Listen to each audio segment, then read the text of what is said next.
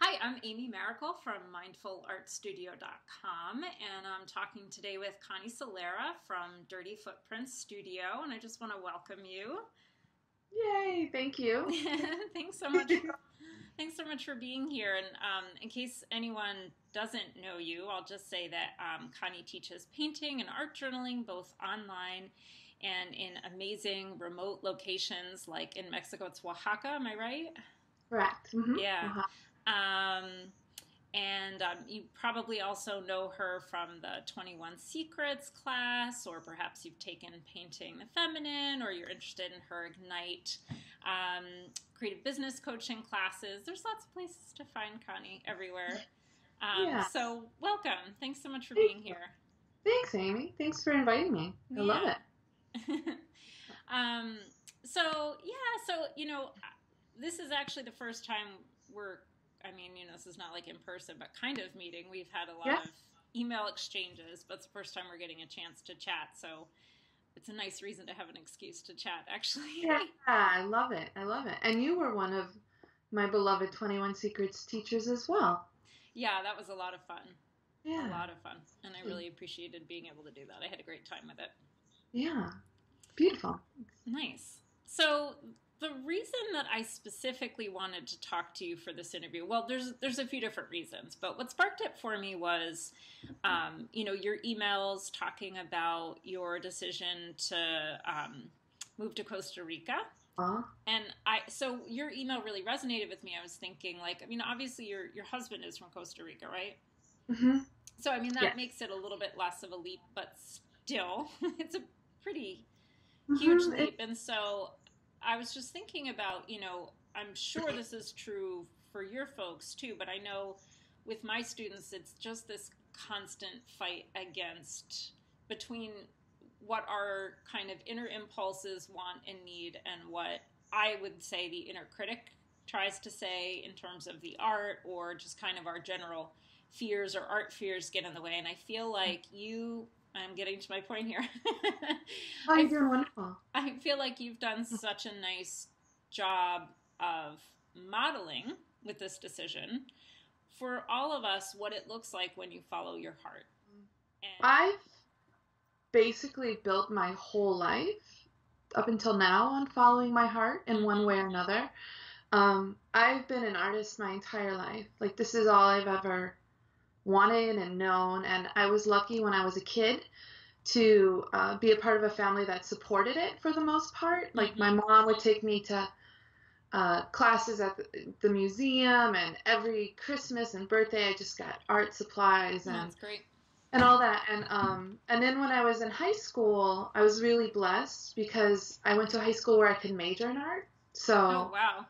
To do that as well. And then you know I went to college but something happened in high school. And what happened is that my family and my teachers and everyone were like you know this is great that you're doing art and you know taking all these classes but you need to find something to fall back on. Mm-hmm. Like it's really important. To find something to fall back on because this is probably not going to work. So that's basically the message my mentors, my teachers, my family would give me. And so I spent the majority of my 20s following my heart and my art, but constantly, constantly searching for what is this thing I'm going to do to fall back on because if this doesn't work, what am I going to do? What am I going to do? Right? Yeah. And um, so my energy was really dissected for the majority of my early adulthood and 20s. Um, I still made art. I went to art school, and when I was in art school, I was there for three and a half years, and something didn't feel right then. Like something was just not clicking. I loved art. I was on scholarship when I was there. I mean, I was doing really well, but I knew that the traditional academic um, approach to that path as an artist wasn't really for me and I didn't know what it was. And interestingly, that was around the time when blogging, like this is in the late 90s, just started. And I actually had a blog back then, long, long time ago, um, where I kind of dipped my toes into it and started writing about my art and, and where I lived and and stuff like that. And um, I think my first real like listening to my heart, knowing that my outer circumstances isn't resonating with my inner. Yeah. That when I decided to leave art school. And what I did is I, I left and I knew I was still going to be an artist. I knew I was still going to do art, but I didn't know where I fit. And so I took a year off. I worked, I was already a teacher. I was teaching at the Cleveland Art Museum and I was teaching and working a million different art jobs and, you know, had a little studio and I was still painting. And then I decided to go to the university after that and study, um, finish my painting degree and also do an art history degree because I really loved writing. Mm-hmm. And so I was really immersed in it. And then I realized this isn't really me either. I wasn't so into the decorum that comes with art history. I just loved talking about art. And yeah. so, um, but I still kept at it, and, you know, and I, I received my degree and then I, I kept teaching. And I really loved teaching, and I taught in the art museum. And so I was like, I need to teach the masses. I need, I need to teach everyone. So then I went back to get my art ed, you know, um, degree because in the meantime I was always following what I loved. Like, oh, I love I love writing and talking about art. So I got that degree. And then I realized, nah, that didn't fit, you know. And then I loved teaching, so I went and did that. And then I actually started. I left the museum and started teaching in public schools. And then I realized, nah, this isn't it either, you know? But but I was still you know loving it and still doing my art. And it I sometimes when I think about it I was just waiting for the technology to kind of catch up. Yeah. Because um then at that time I did start blogging with Dirty Footprints. And that's when blogging was starting to really you know when I started in my 20s it was like I think there was like 10 people that had a blog you know nobody knew about blogs. And then um when I started Dirty Footprints in 2008, 10 years ago, there was you know this is it was like really juicy. There wasn't much social media. Twitter like just was starting you know and nobody like was really on facebook or anything. So it was blogs were so juicy. Yeah. So that was like you know the perfect the perfect um medium for me to start sharing and um it was through my blog that then I, I started to find my sweet spot you know i really started to find my sweet spot and uh, in 2010, I could leave. I left my job and decided to pour everything I had into Dirty Footprints. Mm-hmm. And the reason why I think that's so important is because it, it took me, I was like 34, I don't remember how old I was, but it probably took me 15 years of trying to find that thing to fall back on. Right. And what I realized is I didn't need anything to fall back on. I just needed to pour all my energy into what I loved. Right. You know? And so that's what I was doing. I was like, I'm just going to do what I really love. And once I started doing what I really loved, completely, everything really started opening for me. Has it been easy? It's not been easy. Lots of times I'm banging my head against the wall, but there's a different sense of alignment I feel than when I was in jobs. There's a different sense of easiness I feel than when I was in jobs where I hated. Right. Right? And you know, they might have been easier, but it was like it didn't feel I didn't have ease yeah. in my life, you know. So I share that because it's kind of in my constitution to always do what I want to do or follow. Mm-hmm. You can ask my poor mom, like my teenage years was trouble for her because I do what I want to do. I follow what I really want um, to do. And I'm kind of stubborn about that. You know, if I when I was younger, if I had a job and it didn't start to gel with me, I would leave, you know, and I'd find another job. And it always seemed to open as long as I was always following what, what really made me come alive about it. And so then in regards to Costa Rica, the first time I went to Costa Rica is when I met my husband, who was my wasn't my husband at the time, and we went. So it was almost 20 years ago, and I knew then immediately the minute my foot touched the land, I knew it was like. Hmm. I was I need to live here. I'm gonna have a studio. I could see it. Yeah. And between then and now, there's been two other times that we almost we came very close to moving and something tragic or life changing happened and we couldn't go. And so um, this decision to move is has been a long time processing and we have land there we have family there i've gone there a million because i know what i'm stepping into Yeah. when i make this decision it wasn't kind of like oh Yeah. um and it's something that has been guiding me for the for a very long time. And a lot of my students like when i made the kind of official announcement this year a lot of my students were like well finally because i've been talking about it for a long time. And i talked about it quite a bit also on my blog if you go in the archives you know this has Mhm. been something for a long time to come.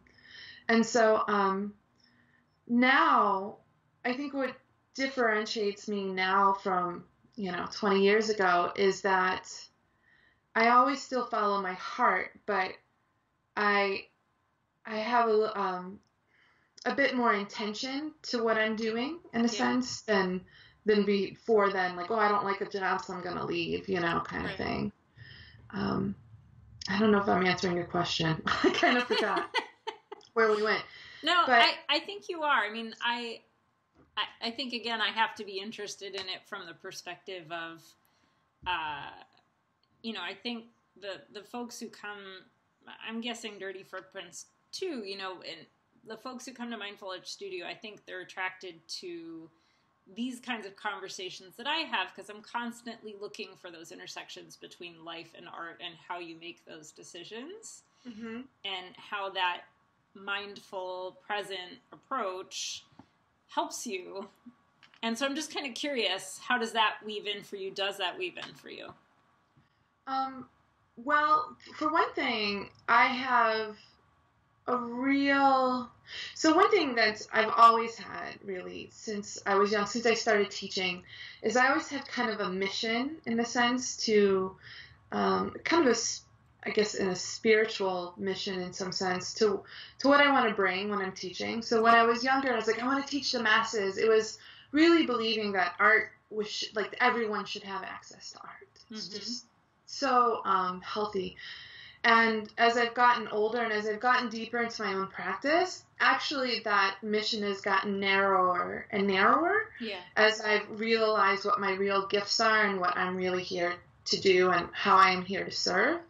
And so I'm really clear, um, and in the sense of mindfulness, I'm really clear about what I'm good at and what I'm what my energy is and what I can give to the world. And so I try not to like splurt it in, in lots of areas in a sense yeah and stay really kind of channeled in in that sense. So what can happen though sometimes because I am an artist is I can get really distracted once in a while. Well, not it's getting better. It's gotten way better. You know, so I, you can get distracted by like, oh, I really love that, you know. yeah And I really I want to try that or I want to try this. But um I allow myself, you know, just a little bit of that and then I really come back to my own practice, what's really important to me and keep deepening it. yeah And so um, I guess that's how I would approach mindfulness in my yeah. own practice the most. yeah. No that makes perfect sense to me. Mm-hmm. And it, it you know where you started with that i think is part of why i connect so much with your work is is the element that you mentioned about it being spiritual. And i don't know what that means for you. I i know that when i look at your work my experience i can speak to my experience of your work and then i'd love to hear your experience. Um so you know where i'm coming from i mean it's interesting listening to your path because there our paths are very different but it the similarity i hear is the convolutedness of it. Mhm. um, there's like a lot of twists and turns. Mine is probably more twisty and turny than yours um, just because i started out not really having a million interests and not really knowing what i wanted to do and i was doing human rights work in guatemala uh, or around guatemala from us side Mhm. um, and then kind of realized that I was overwhelmed by the political and wanted to work on the personal, and was also having my own kind of amazing art renaissance in my own life, and um, so the two came together. Oh, I love it. yeah. So it was pretty great, and then went to grad school, yada yada, and then you know ended up creating, you know, and so now I have like kind of a dual life where I'm a therapist two days a week, and I do mindful art studio three to five to seven days a week. Three to 80,000 days yeah, a week. Yeah. most of the time. yeah.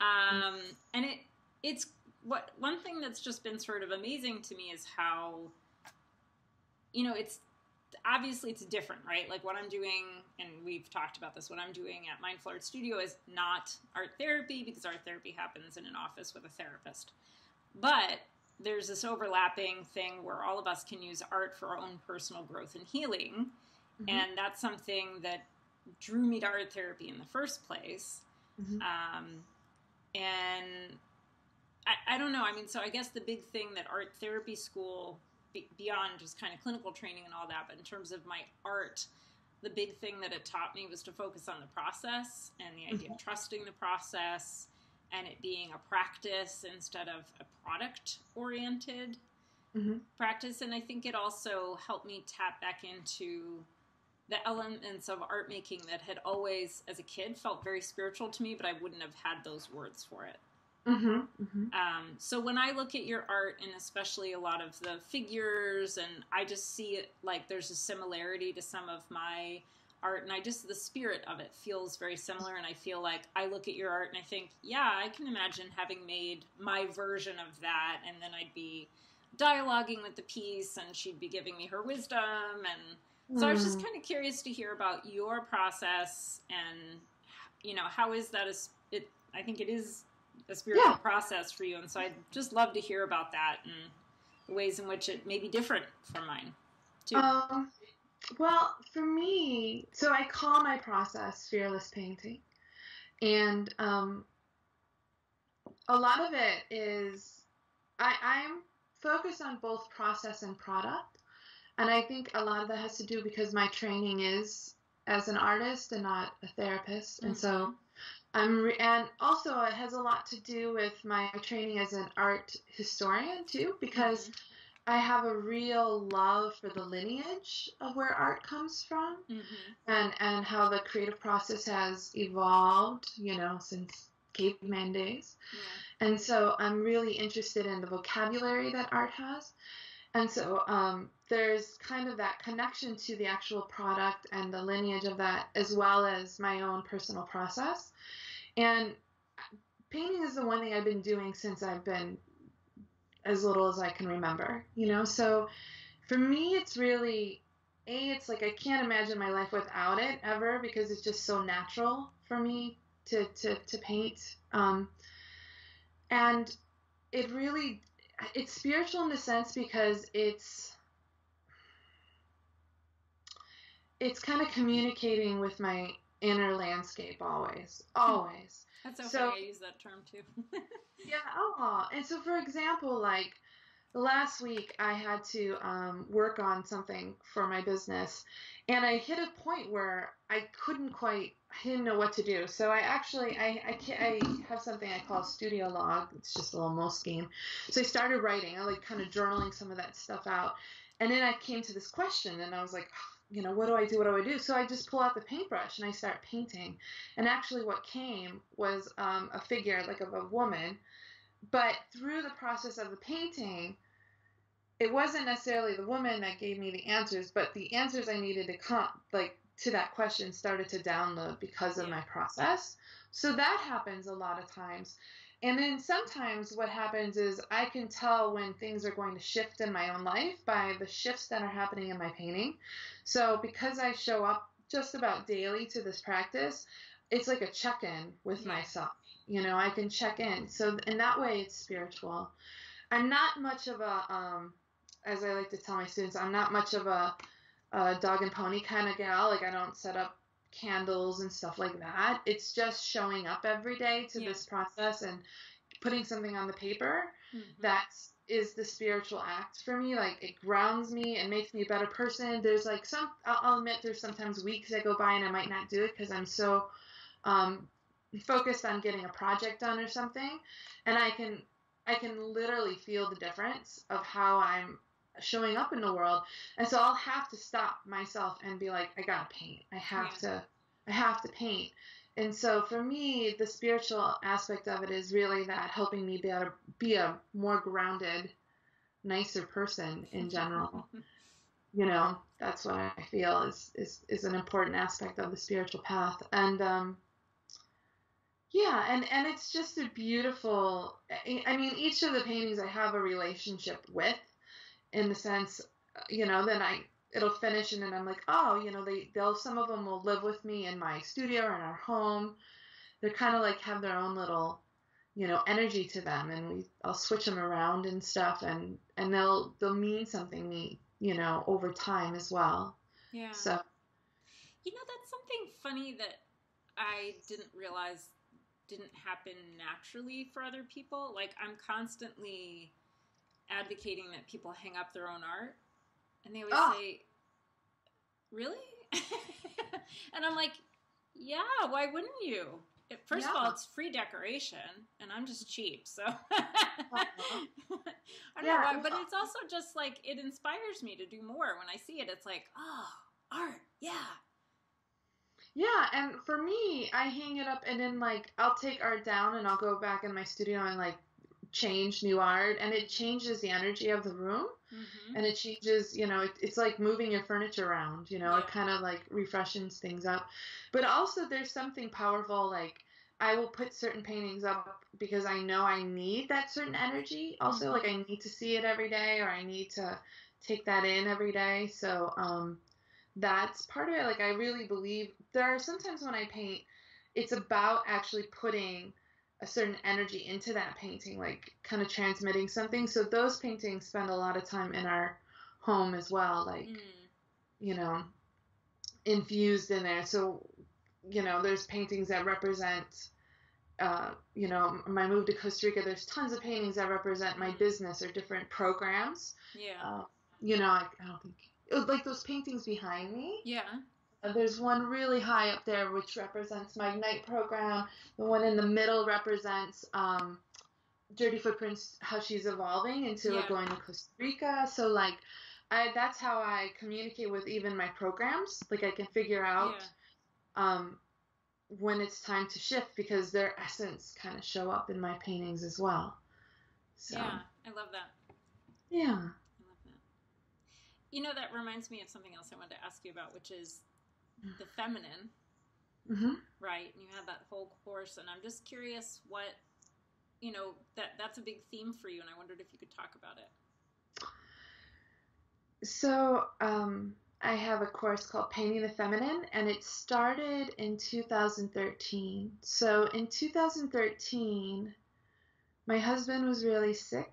I had basically a one year old and a business and um, my husband was in and out of the hospital sometimes at months on end and it was a really difficult time and i actually um, at that time one of the things that kept me grounded and saved my life in a lot of ways was kundalini yoga mm-hmm. and I was doing Kundalini yoga religiously. I would go to a teacher and be like, I don't care, tell me to stand on one foot and put my arm out sideways and and repeat a word 50 times and I'll do it because it was the only thing that was really grounding me at, at this really hard time.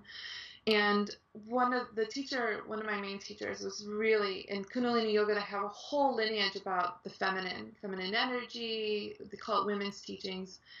And I just became really interested in this idea of like feminine energy.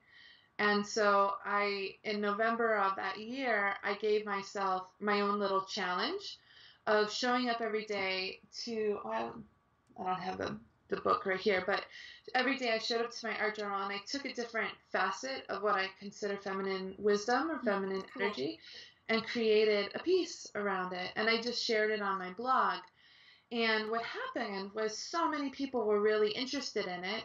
So the following January, I created a, a a workshop, an online workshop, and all it really is is I tell stories of the fast different facets of the feminine, so like vulnerability or intuition or um, stories of what it like. I spend a lot of time talking about the feminine goes into you know the underground, the darkness, the the depths. Like what does that mean? And so we look at kind of the darker sides of what it means the feminine. So it's not about painting women Mm-hmm. It's not about painting girls or faces or anything. It's really about what is feminine wisdom? What is that feminine energy that in our society is really either suppressed or not valued like you know and so it's really like what where's our strength in being vulnerable where's our strength in in community so community is a big part of it Yeah. or sharing and all of these feminine kind of values or principles so we take one each day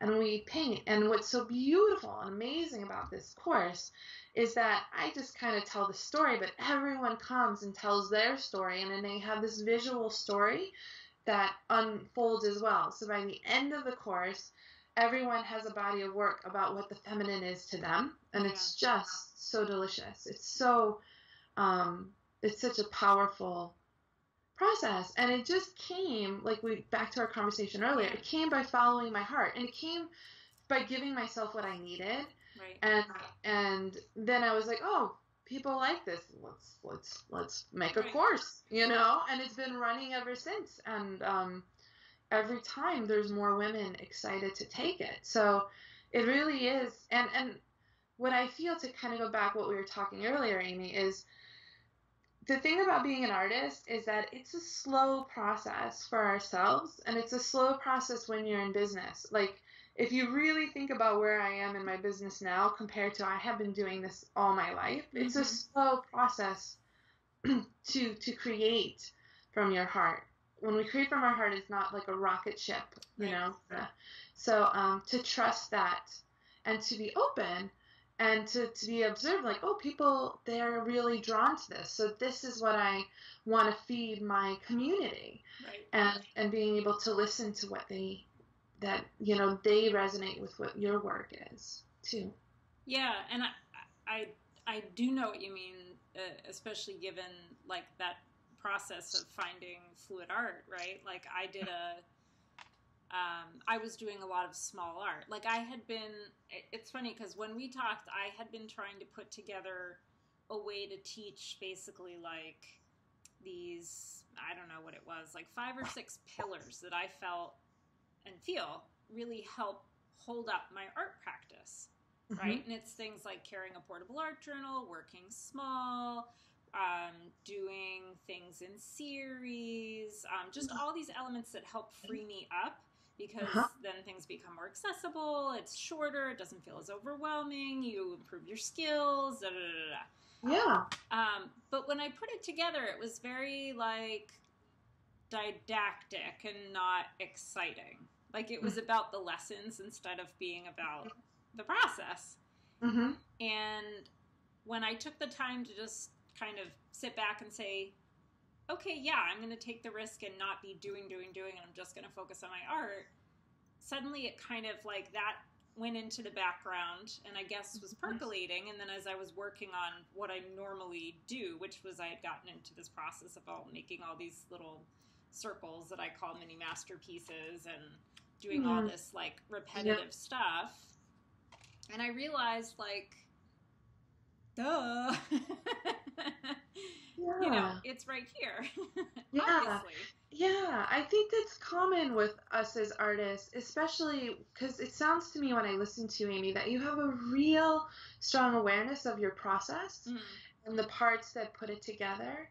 But then if we get too entwined in the cerebral part of it, it loses that energy Mm. of it. Mhm. And so it's like I can really see where your class then got the balance of it. So you needed Yeah. to give yourself that art making time to yeah, I think that's a good observation for me that I can get caught up in the cerebral. yeah and and well that's but that's part of your greatness as an artist i think that's what's really important to, to realize so in my ignite group i just actually we were having a conversation about like i call them lodestones like kind of your principles or values that guide your business or Mhm. your your mission as an artist and they asked me what is mine and i said well i always want things to feel like an adventure you know, I'm like, I always, that's, that's like number one. I always wanted to feel, and then I realized, I was like, but wait, some of you might be like about to pee your pants thinking, oh my God, my business has to be like an adventure. I'm like, that's what works for me. Like, I work when things are a little bit chaotic, when things are a little bit like, when last minute, I'm really on top of it. And when I can just go from my own essence, I'm really um, in my power. Mm-hmm. But for some people, they need a different um, sensibility, you know. And for some people, that it might be being more um, analytical. I have a, a student who's extremely analytical about things, and it's her greatness, you know. Like she's going to reach people and resonate with people that I don't, you know. And so I think that's what's so beautiful is that being an artist has so many different flavors. It doesn't have to look or feel a certain way for you to be successful because there's so many artists that are very analytical or very cerebral or spend a lot of time inwardly thinking about things Mm. and they need uh, an expression a process of art too that res that they can feel comfortable in to to give it through and sometimes being with someone who's like oh it's got to be an adventure could be putting them way out of their comfort zone Yeah. You know and so it's such a beautiful thing to be that yeah, way it's really interesting just as I'm listening to you trying to. I, I want to think about that more because I have to put the pieces together because I have overlapping but different parts with you. Like, I very much want my art process to feel like an adventure. Mhm. But yeah, I don't know that I want. the entrepreneur part, I'm not. I, I don't know. I, I don't think I would use the word adventure. Mhm. Um, it is an adventure, but I don't think that would be like a pillar for me. So it's it's kind of interesting thinking about like, yeah, where where I want or or where naturally the academic kind of cerebral part comes in for me versus the more adventurous, free free flowing. Because one of the things I've noticed being in business is, uh, as opposed to my normal way, I'm very, I don't I hate planning stuff out.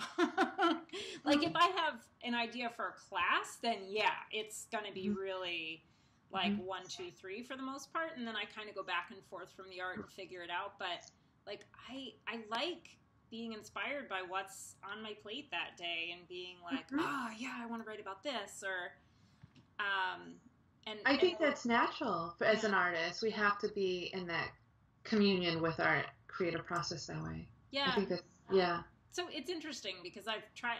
That's I think that's my one of my growing edges in creative business is trying to figure out how to make things planful enough, but also trust the process. And anyway, Mhm. so Yeah, and that's a bit of being an entrepreneur. Entrepreneur is just like the creative process in that sense. So I'm sure what you really resonate with the creative process can be applied to your practice as an entrepreneur. I I I thrive on taking a little bit of risks always. You know, like I'm Mhm. always curious like if I try this, like what's going to happen? yeah, And then have to kind of like hustle a little bit. I Yeah. it's just part of my nature. yeah, I mean, it's come to it was showing when I was, you know, in my 20s, didn't like a job and I would quit and then I would be like, okay, now I have, you know, rent and cars and this like I got to figure out. And then it was something lively would come out of that Mm. aspect of being kind of so it's it's really that embedded. worked for you. It's it's not a surprise that I do that still in the way I work because it's always been a part of my constitution, you know yeah, it's really getting a sense of what your your sensibilities are and then applying that as your greatness yeah. what you you know I love that, and I wonder how you would um, like. Can, can you translate translate that for people like you know folks who are you know most of the people come to me are like I feel blocked. My inner critic is in the way. I can't seem to get started, and you know what would be your best advice for people who are looking to tap into something really authentic in their art, but also being able to just let go, give into the process, and not be so. I don't know any other word, but word except for just getting worried and getting caught up in all those art fears that then get in the way of you making anything in the first place. Yeah. Well i think it takes a bit of discipline and it takes a bit of commitment. Like if you're really feeling the call like i want to be an artist and it sounds like the people that come to you have that desire but there's this big lump of fear in front of them.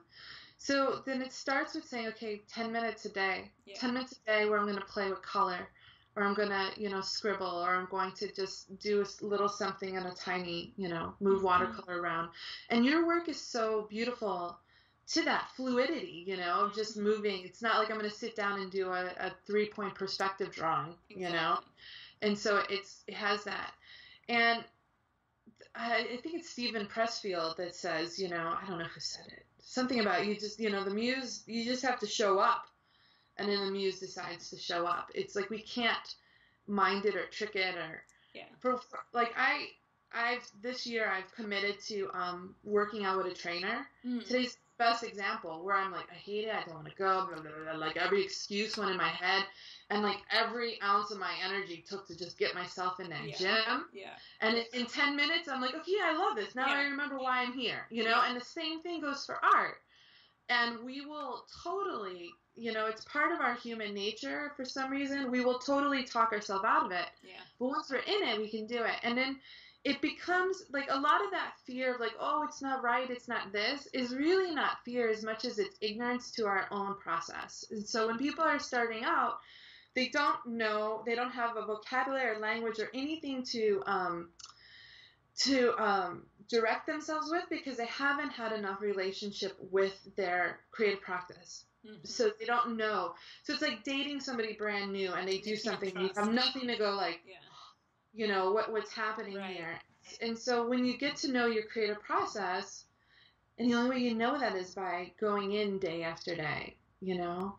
Yeah. And when you start to know it, then you can realize, oh, you know, I, I do things this way, or I'm getting better at this, or Yeah. I'm, Well, Yeah. I think that's part of why I always recommend that people work in a series because it kind of undoes that idea of any one thing needing to meet some particular standard.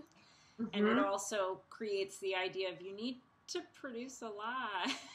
you got to practice. Yeah, you have to practice. And then I think series, I, I'm also a big series person. I call it like create a body of work, you Mhm. know? And I think what's so beautiful about that as well is that you can learn so much.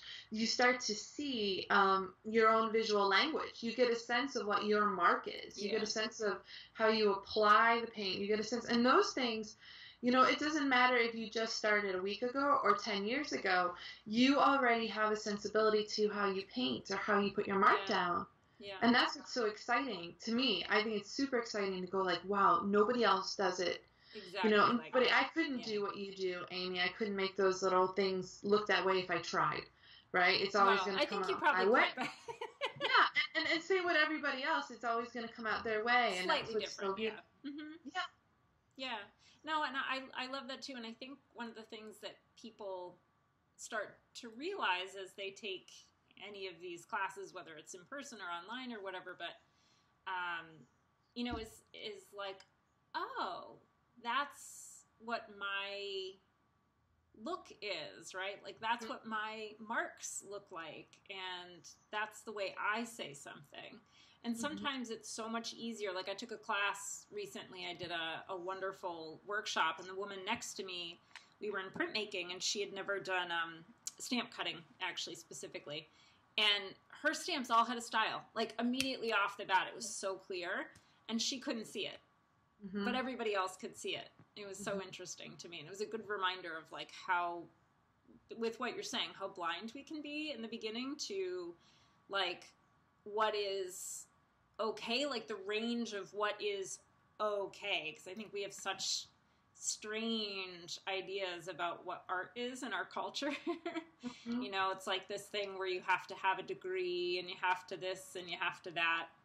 Um, and and I often find that if I have people pretend that they are looking at someone else's art, it opens up a whole new perspective on what they're seeing because it's not coming through this lens of, oh, I made that. Mhm. It's like there's more legitimacy almost if it's somebody else's.